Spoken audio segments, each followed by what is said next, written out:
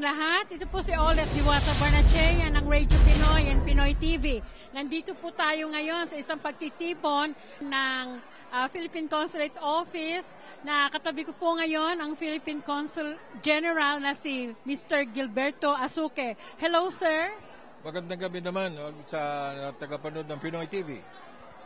So, andito po ta- ngayon tayo sa Taste Market by State at napakarami pong tao ngayon, sir. So, ano po ba itong pagtitipon na to? Ang pagtitipon na to ay aming uh, pagbati ng maligayang Pasko at manigong bagong taon sa mga mga Filipino community leaders, no? At sa amin din pasasalamat sa tulong na binigay ng mga komunidad pati ng mga Filipino community leaders at ng mga media gaya ng Pinoy TV sa trabaho ng konsulado. Uh, kami po rin ang nagpapasalamat sa lahat ng mga tumulong po sa konsulado at humihingi rin ho kami ng paumanhin sa mga hindi po namin na ibigay kagad dahil po uh, sa mga limitasyon ho. Kami ho humihingi ng paumanhin kung hindi po namin natugunan ng maayos ang inyong uh, mga kailangan ho sa konsulado pero mangangako po kami na sa, sa darating na taon, isisikapin po namin na maayos lahat yan para lahat ng serbisyo po ng inyong konsulado ay uh, maibigay sa inyo ng maayos, uh, madali at uh, tapat ho ng serbisyo ng uh, kawani ng Pilipinas. Maraming maraming salamat po sa pagtitipon na ito ng mga Filipino leaders and Filipino icon, uh, Sir Gilbert Asuke. So ano po ba ngayon ang mga future projects po ng ating Philippine Consulate Office? Ang una po sa lahat, ano, bigyan, binibigyan po namin ng uh, buong pansin ang uh, talaga pong uh, trabaho ng inyong konsulado. Ayan po ay magbigay ng uh, serbisyo sa mga kailangan ho ng ating mga kababayan ang passport nyo, ang uh, legalization ng mga dokumento, at lahat ho ng mga consular services. Yan ang tinatawag naming core function. Uh, yan po ang, pag ang uh, po namin, i, uh, uh, gagawa po kami ng lahat ng paraan para ho maibigay ho ang serbisyo. Ngayon po, uh, kami po sa pamagitan ng programa, gusto po namin apalam sa inyong uh, tagapanood na meron na po tayong appointment system para ho sa passport. No? Uh, hindi na po tayo tumatanggap ng walk-in. Maliban lang po sa senior citizen, PWD, at saka yung mga bata na below 7 years old. Yan po, wala po. Pero sa lahat po, kailangan ng appointment para humaayos. Ang kailangan niyo po gawin ay pumunta ho kayo sa website ng konsulado, philcongencalgary.org. Yan po ay ang uh, tinatawag natin, it's an abbreviation of the Philippine Consulate General, philcongencalgary.org. At may makikita po kayo doon, Passport Appointment Book Now. I-click niyo po yon at na instruction ho ang paano ho kayo makakuha ng uh, booking, uh, nandun po lahat. Sa pamamagitan po niyan, eh, sigurado po ang uh, araw at oras. Hindi ho tayo nag-aalatsamba kung walk-in para ho naman uh, maayos ho sa lahat. Ano? Kasi kung darating ho kayo sa oras nyo, sa araw, mga 10 minuto tapos na po ang processing. Uh, basta't lang po kumpleto ang mga dokumento. Ngayon, uh, dahil sa mga consulat, consular services, meron din po tayong mga iba pong uh, proyekto. Pero kung tungkol po naman sa ating komunidad, pinaalala po natin na next year po, Philippine Heritage Month sa June, at ang mga Filipino community leaders, pati na ho mga asosasyon, eh inihikayat po namin na gumawa po tayo. Gumawa po kayo ng mga programa para ipakita po sa Alberta, sa Calgary, no, ang uh, kontribusyon ng Pilipino sa buhay ng Alberta. Okay. Eh, Conjen, yung ating winter escapade.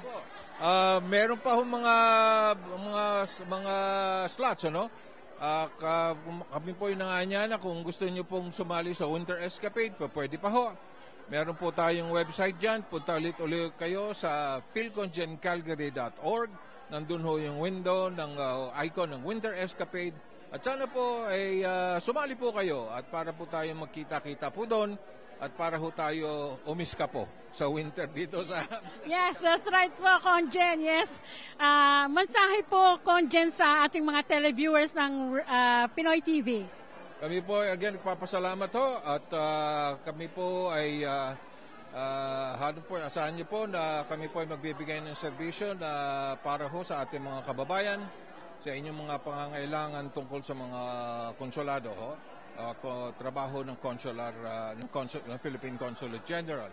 Ah, sa pamagitan ng iyong programa, kami po kasama ng aking mga ah, ng staff ho sa Philippine Consulate General, bumabati po sa inyo ng maligayang Pasko at matpayapang bagong taon. Maraming maraming salamat po, Conjen, dahil sa ito po ulit si Olet Barnachea, dahil sa Pinoy TV Special. Natural. Magandang gabi po sa inyong lahat. Ito po muli si Marieta Pangan, kumakatawan po sa Pinoy TV Special at sa akin pong kaliwa ang napakagwapo at napakamaginoong deputy uh, consul na si Sir Saldi Patron. Magandang gabi po at Merry Christmas po, Sir. Magandang gabi, Marieta, at maligayang Pasko din sa inyo.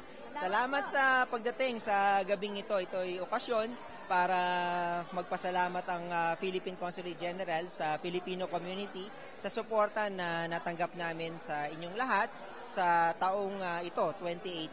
Ah, marami kaming mga na-accomplish, nakapag-consular outreach tayo, ah, nakapag ah, nakatulong tayo sa mga kababayan natin na nangangailangan, yung mga distressed Filipinos. Ah, nakapag-promote tayo ng ah, Winter Escapade at ah, nakapag ah, nakisa din tayo sa pagdiriwang ng mga Philippine Heritage Month, no?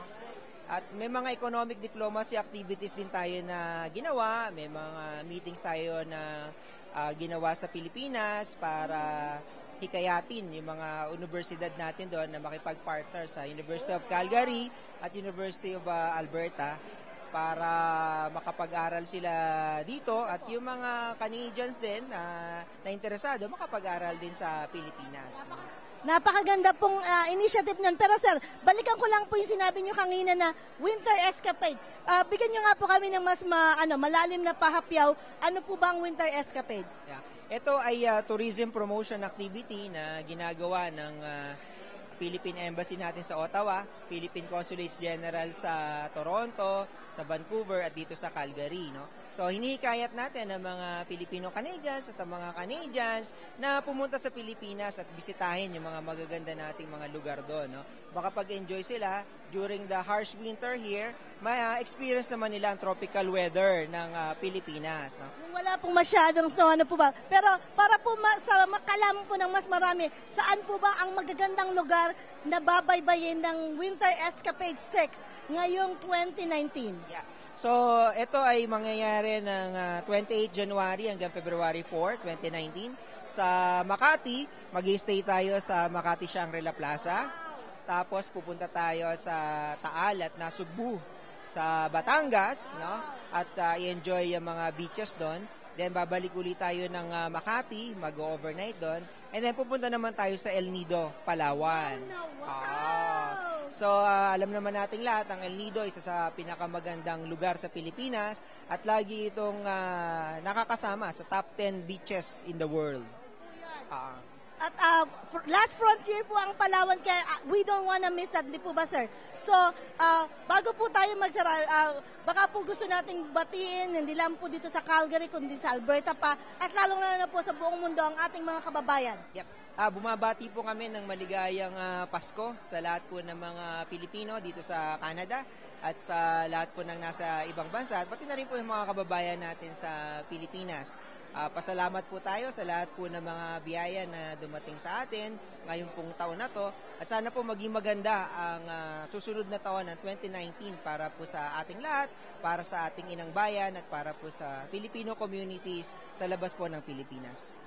So on behalf po ng uh, Philippine Consulate Christmas Thanksgiving po para sa Filipino community dito po sa Calgary and Alberta, kami po uli ay nagpapasalamat sa inyong lahat at muli po ay binabati namin kayo ng maligayang Pasko. Pasko. At dito sa Pinoy TV Special, sir, tayo ay Natural. See you! Ito po si Olet Barnachea at nasa tabi ko po ang mga may-ari, ang mga popular na magulang ni Annie Lax, ang sikat na singer. Si Annie Lax, ah, si Buboy Ala and Tess Ala. Magandang gabi sa inyo. Magandang gabi naman po. Ah, nag, nagbabati po kami mula sa Pacificat Restaurant ng Maligayang, Maligayang Pasko. Pasko at manigong bagong taon sa inyong lahat. Maraming salamat po sa pagtangkilik palagi sa amin. Ah, by the way nga pala, Ron and Tess, ah, may mga events ba kayo ngayong ah, papasok na taon? Ah, Meron po, meron po. meron kami ngayon actually sa susunod na biyernes, meron kaming acoustic ah, pre-New Year na ano, concert or acoustic sa restaurant. So tapos ah, almost every Friday, Thursday and Friday magkakaroon kami ng karaoke night sa Pacificat. So yun lang po. Sana uh, itangkilik nyo po at ah, magsama-sama tayo. Abangan nyo po yun, ha? Ang Magandang magandang gabi po uli. Si Marieta Pangan po. On behalf of Pinoy TV Special, kasama ko po dito sa isang napakalaki at napakagandang kasiyahan ang mga namumuno naman po ng pamayanan ng Airdrie at sila po ay ang mag-asawang sina June Martin po at uh, Rose Martin. Ayun, ang magandang may bahay. So, sir and ma'am, kumusta po kayo ngayong kapanahunan ng Pasko? ah, mabuti naman po ah, katatapos lang po ng aming ah, Filipino Airdrie Association Christmas Party at ah, napakarami pong tao na dumalo sa amin. May mga bisita kami kami from Calgary at sa ibang lugar. Ah, full house po yung aming kaldero. Siguro po napakaraming pagkain doon ano, madam? Ay, napakasarap daw po, sabi ng mga dumating. Oh, wow, At naman. nagpapasalamat po pala kami sa mga nagbigay ng suporta, mga nagbigay ng mga pang-giveaways, most especially ang Rolly Me by uh, Mr. JM. Nagpalitsyon po sila. At ito pong uh, talagang si Mr. JM, wala po sawang sumuporta sa amin. Boto natin yan sa, sa susunod labing dalawang eleksyon. Biro lang po. Ah, sir, ah, ano pa po ba ang mga kaganapan natin dyan sa Airdrie? Ah, meron kami ngayong ah, ginaganap na ah, hawak namin din ito dahil sa St. Paul Church na simbang gabi. Ini- Ang gabi. Sa Saint, ang Sa pamumuno po ng aming uh, kura paroko, si Father Domingo Bongalos. So ito pong ah, ano na to, pasimbang gabi. Simbang gabi in Tagalog o simbang gabi in English po? Tagalog po. Pure Tagalog po ang misa. But- Buti po kayo'y napaluwas dito sa aming pamayanan sa Calgary. Ano po ba ang meron dito ngayon? Ah, nagpapasalamat po kami sa Philippine Consul ah, Office at ah, kami ay naimbitahan dito ah, lalo-lalo na kay ah, ah, Consul General uh, Suke and ah, Deputy Consul General ah, Saldi Patron. Maraming maraming salamat sa kanila at imbita. At namit namin ang iba pang mga asosasyon at mga leaders ng community. Philippine community. So, ah, meron pa po ba kayong kaming dapat abangan, lalong-lalo na po ngayon po ng palaki ang pamayan ng Airdrie. Sa 2019 po, ano po ba ang inaasahan ng buong pamayan ng Alberta kung gusto po namin pumunta ng Airdrie? Marami po kaming mga programa na binabalak sa ngayon. Ah, meron po kaming balak na yung parang piyesta sa Airdrie. And then, ah, nagbabalak din po kami na gawin ng Independence Day. Which is, uh, siyempre may mga kausap po tayo mga tao na... Yeah, po. Yung po, abangan nila sa aming Facebook account. Opo. Ah, ma- ano po ba ang pangalan ng ating friendly Facebook account? ano po, Filipino Airdrie Association. At syempre, yan naman po, lahat ng aming events ay siguradong ah, ma-advertise po sa mga programa ni Sir JM. You want Manila? Napakaganda po. Pero bago po tayo magpaalam, ah, gusto po natin sigurong batiyan ang buong pamayanan ng... Merry Christmas and a Happy New Year! Basta Pinoy TV Special Natural! Okay, tayo po ay narito sa Taste Market by Saint sa 4th Street, Calgary at kasama po natin ngayong gabi ang power couple ng Calgary, of course, Mr. Cesar Cala and Miss Marichu Antonio. At sila po ay mga haligi ng ating community at kasama po natin nagkikipasaya, nakikisaya sa konsulado ng Calgary mula sa Pilipinas. So, ano pong masasabi? Vanji Kawili Ako po si Vanji Kawili. Philippine Festival Council of Alberta. naatasan lang pong mag-interview ngayong gabi. Maraming salamat. Ah, so gusto nating matanong itong dalawang taong katabi ko. Anong masasabi mo sa achievement na nagawa ng Filipino community ngayong taon na ito? Ay, napakalaki talaga ng mga achievements. Napakaraming achievements ng Filipino community. Kaya tayo'y nagpapasalamat sa mga maraming mga leaders at volunteers sa community na ang nakuha natin yung ah, pagdeklara ng Philippine Heritage Month sa Alberta. Forever na yan, forever, ah, sa June. Tapos meron rin tayo this year yung una, kauna-unahang province-wide leadership conference. At meron din tayong na-declare ang federal government ng Philippine Heritage Month for the whole country of Canada. Tapos, ah, meron din tayong nakasampa na petition na gawing international language for the public school system and the Catholic school system ang Filipino. One of eight languages na magiging international language sa Alberta school system. So, nakasampa rin po yan. So napaka I think it's a really good time to be a Filipino Canadian, no? Sa sa Calgary, hindi lang sa Calgary kundi sa buong Canada kasi we're slowly being recognized and we're achieving all this milestone na hindi pa nagagawa from before. Pero ano ba ang dapat nating abangan sa susunod na taon? Ano pa bang mga proyekto ang meron tayong nakasalang na ngayong taon na ito? Uh, lalong-lalo na kung we will be celebrating the first anniversary of the Philippine Heritage Month, magpaplano po tayo ng simultaneous celebration ng Philippine Heritage Month across Alberta. At makakakuha tayo ng support dyan from the Canadian government, specifically yung uh, Ministry of Multiculturalism and o Ministry of Canadian Heritage and Multiculturalism ng federal government. So, may mga funding po na available for the celebration of the Heritage Month.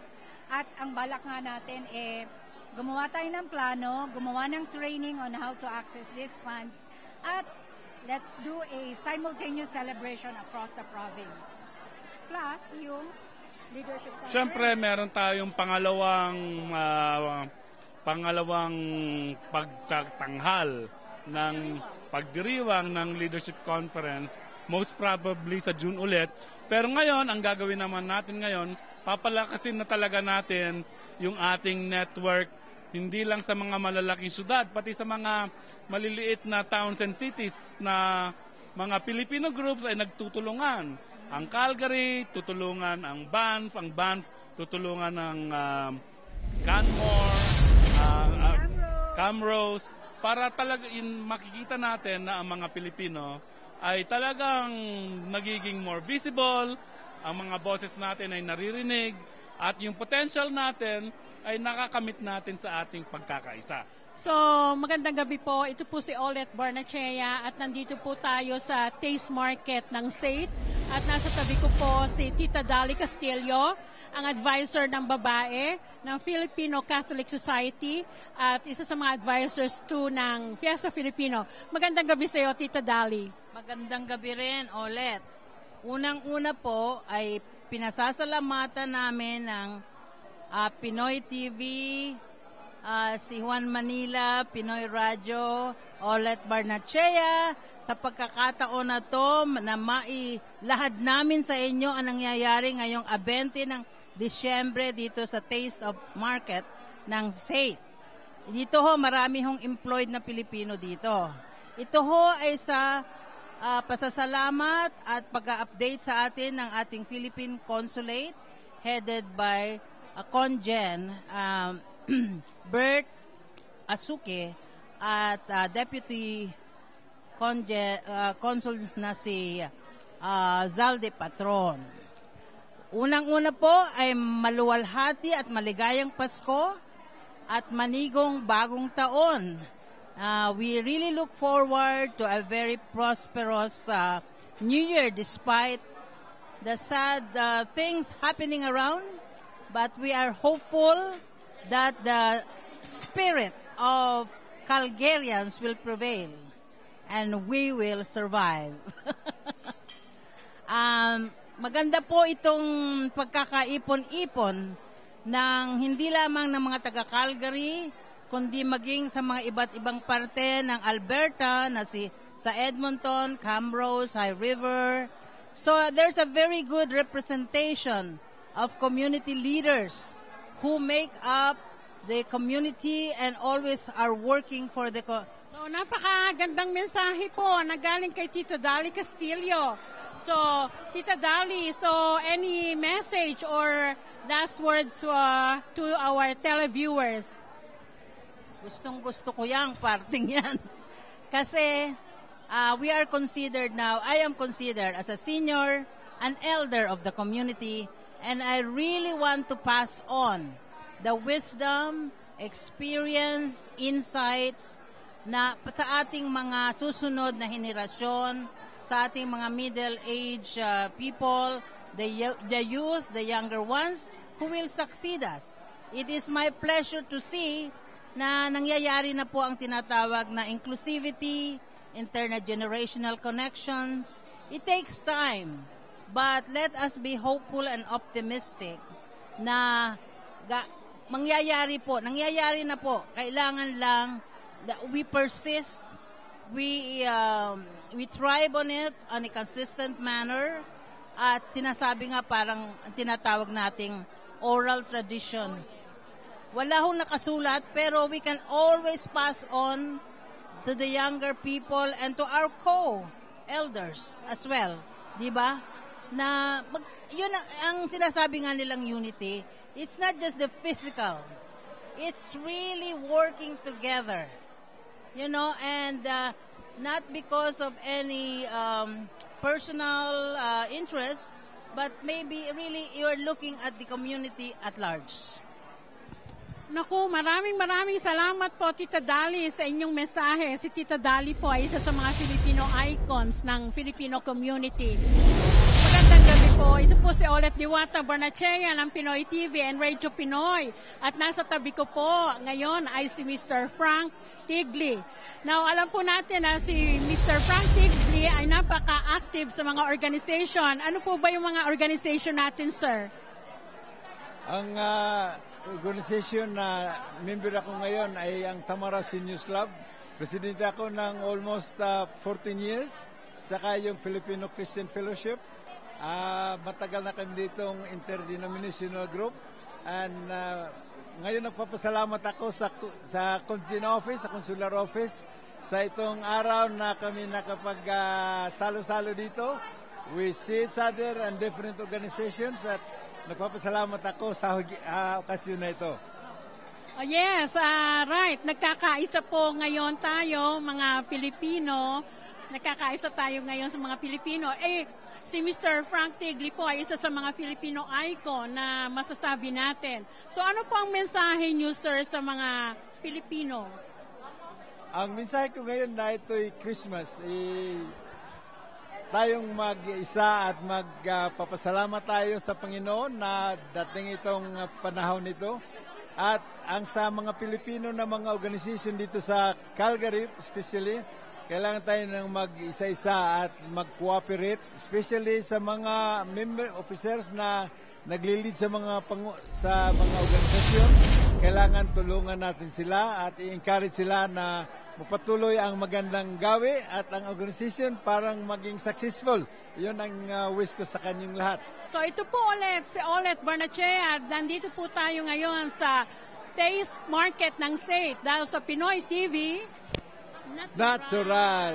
At salamat. Sa Magandang magandang gabi po uli at uh, kumakatawan po sa Pinoy TV Special, Maria Tapangan po at sa akin pong ah, kanan ay ang nagaganda at nagagapuhang mga leader ng pamayanan sina Ah, ako po si Prima ng PFCA, Philippine Council, Festival Council of Alberta po. At ang katabi ko po ay ang gwapong-gwapong si... Si Bong Magpantay, Bong Magpantay from Fiesta Filipino. Wow. So, Sir and Ma'am, bakit po tayo nagkakaroon ng kasiyahan sa gabing ito? At tayo mga posturang postura to the max. Ah, nagpapasalamat po kami sa Philippine Consulate Office under the leadership of Consul Ag, ah, Asuke, Konjen Asuke, kasi ah, pinagkaisa niya muli ang mga iba't ibang mga leader po ng ating komunidad na Pilipino po dito sa Calgary upang makisaya sa kanila dahil po sa Pasko. And we are very thankful na isa po kami sa mga naimbitahan. So we are really grateful and appreciate the effort of the Philippine Consulate Office here in Calgary. Tama po yun. Napakarami pong mga panauhing pandangal dito na iba't ibang pamayanan, iba't ibang ah, liderato at iba't ibang ah, organisasyon upang makisaya po sa pamaskong handog ng Philippine Consulate Office. Pero sir, pag-usapan naman natin, ano bang mga nangyari sa inyo nitong 2018? Ano bang mga malaking pasabog ng pyesa ang pinaginanap natin? Malaking pasabog ho ang nangyari noong nakala, nakaraang September sa Fiesta Filipino.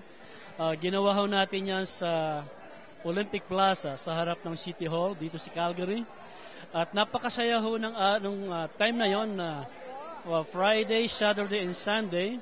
Inimbitahan po natin ang ah, Viva Production. Ah, apat na artista ho yung dumating noon at talaga naman pong ah, ang dinumog, ang suporta ng ah, ah, ating mga kapwa Pilipino. Ah, to be exact, ang, ang, ang dumalo ho noon, mga 6,310. So, napakarami po. Kaya sa susunod po ay paglaanan ulit natin, mas malagi pa ang pasabog natin na darating sa next year, September 2019. At uh, marami pong... Yeah, Fiesta Filipino, ma- marami pong salamat sa suporta ninyo. At bago po tayo magtapos sa ating mahikling panayam, ah, ano po ba ang masasabi natin sa tayo bilang komunidad, bilang Filipino community na ngayon ay ah, nagiging mas mahalaga sa panuntunan at pamamantayan ng ating ah, ah, republika or ang ating pamayan dito sa Alberta. Ano po ang nakikita ninyong mga pagbabago at mga progresong na, na, nakikita ninyo sa ngayon? Ah, sa ngayon po, um, we are very proud to announce that the government of Alberta for the very first time po sa ilang taon na marami na pong mga Pilipino dito sa probinsya ng Alberta, June was declared as our Heritage Month. So every June na po yon. So sama-sama po tayo. Nag, ah, ito lang po ay patunay na merong pagkakaisa po ang komunidad natin. Dahil kung wala po, hindi po mangyayari ito. And we are very thankful too that the government have listened sa mga inaing natin na dapat naman na ah, they will recognize how the Filipino community have contributed to the to the vibrancy of the province of Alberta. So yun lang po. So, ito po ay bago lang tayo mag-off the air, atin po muling batiin ang buong pamayanan, hindi lang po dito sa Canada, kundi sa buong mundo ng isang Maligayang Pasko po sa inyong lahat at manigong bagong taon. At dahil dito sa Pinoy TV Special, Pinoy TV Special dito sa Calgary. Natural. Natural. Ganun talaga. ganun. Magandang magandang gabi po sa ating lahat at tayo po ay nandirito sa isang napakalaking pagdiriwang na handog ng Philippine Consulate dito sa Calgary at kasama ko po ngayon at bago ko po siya ipakilala, ako nga po pala si Marieta. I'm representing Pinoy TV Special dito po sa Calgary at sa aking pong tabi ay ang gwapong-gwapong si Mr. Hi, uh, magandang gabi po. Ako po si uh, Edwin Chavez and I work with the Office of the Premier uh, Rachel Notley po. Magandang gabi po sa inyo lahat. Uh, sir, um, bago po natin batiin ang ating mga kababayan dito, ah bigyan po natin sila ng ano ng, ng pananaw ha, paano po ang community natin dito sa palagay nyo ay nagiging malaking bahagi ng ating pamayanan. Wow, napakagandang katanungan po niyan. na sa katunayan po, ah, napakalaki po ang kontribusyon ng mga Pilipino dito sa province of Alberta. Ah, in the last 2016 na statistics po ay umaabot na po tayo ng 175,000 na mga Pilipino dito po sa Alberta and we're the the second largest uh, uh, ethnic community dito po sa Alberta not even, not only in Alberta but in the whole uh, in the whole uh, country of Canada.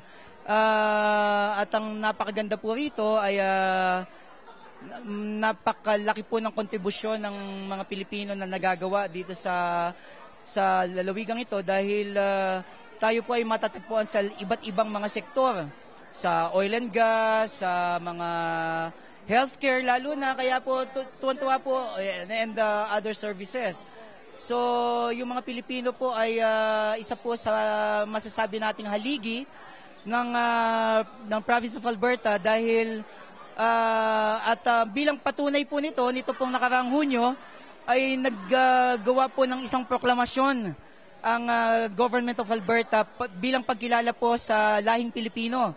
So uh, ngayon po starting last June po ay na-proclaim po ang ang June as Philippine Heritage Month uh, sa bawat uh, buwan po till eternity po. Sa buong Canada po yan? Nagsimula po dito sa Alberta at uh, eventually po ay nangyari na rin po ito sa buong Canada. So kaya po maraming salamat po sa Government of Alberta para sa sa acknowledgement at uh, pagkilala sa kontribusyon ng mga Pilipino po dito sa sa probinsya ng Alberta.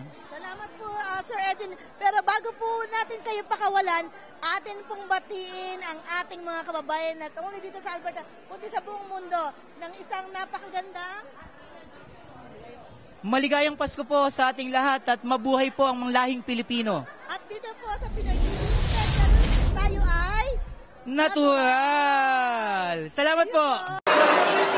So, masaya po. Maligayang maligayang